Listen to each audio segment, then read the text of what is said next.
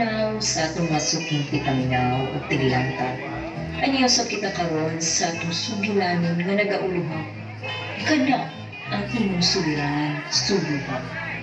Nagapahimang na kita sa atong mga tikpaminaw nga kinilakbit say lamang sa atong letter senders.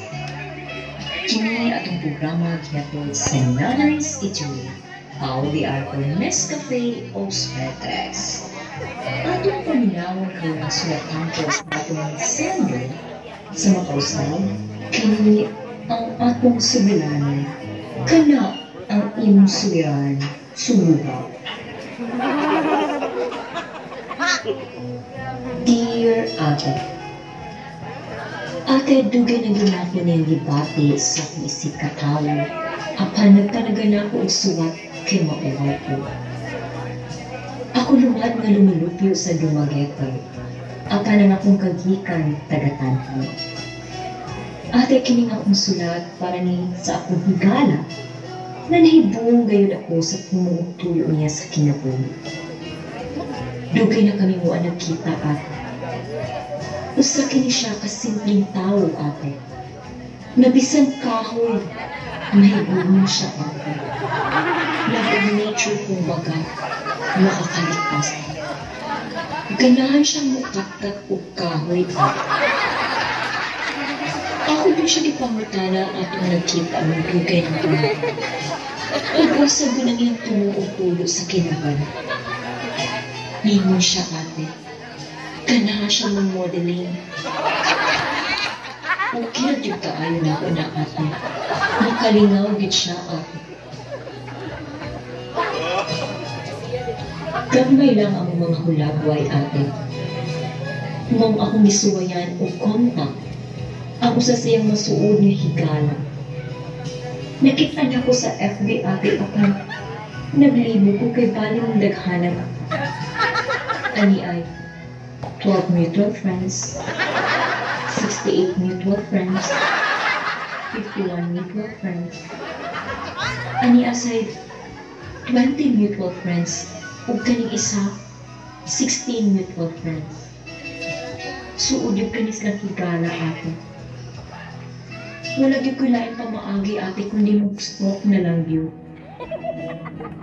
Ang nakita na ko ate. Nagawas iyang love of nature. Makabansa ang guday siya ate. Oo ate. Sakto ka. Gumawa siyang naklase ate. Mahal ka siya higala ate. Sa akong pag-stalk, nakaibaw ko na maisto na ang akong higala ate. Bilib ako. Huwag ka nang at Ginaw nga nakahibaw ko nga maisto na siya ate.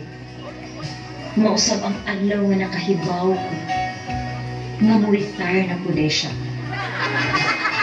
Nawag ko kadunga-dunga kapatabang ni kong Rafi Tulfo ate. Ano ba talaga ang sitwasyon niyon? Ano ba talaga, sir? Oh, so ano gusto mo mangyari? Hello?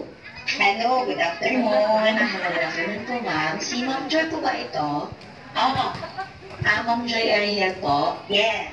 Ah, sige po. Si Sir Arnold Ariel, di po ba ay mag-retire na po, di ba? Yes. Opo, so nag-ano kami ng mga, ng mga references sa kanya at nag-fill out po siya ng form at isa po kayo sa mga tao na ibinahagi po niya na naging parte po ng pagiging guro niya. So, mga ilang taon po pa si Sir Arnold na, ano, na-teach na po? Actually, ma'am, in here at Bali City National High School, nagkasama kami since 2008. Galing po siya sa uh, Negros Oriental State University. I think from 2008, ma'am, until now, or until 2019, August. Ano ba yung mga advice mo sa kanya regarding sa retirement niya, ma'am? So, I told him before na before na na-process niya yung retirement niya, I told him na not to stay at home, dito visit sa school kasi kadalasan yung mga yung mga ginagawa natin sa pag-araw-araw mamimiss natin. Sabi ko sa kanya, ah, huwag mag-stay sa house niya, pera matanggap niya, bitin niya sa tamang paraan dahil nagkaedad na siya. Yun ang palagi kong sinabi sa kanya. Ma'am, marami pong salamat. Okay. ma'am. Thank you so much. Bye-bye. Ang akong letter senders kay Adlawa, maunay sila si Domo si Kampoy, ug Lord Enrique. Sa makausap kini ang kana imong suliran, sulod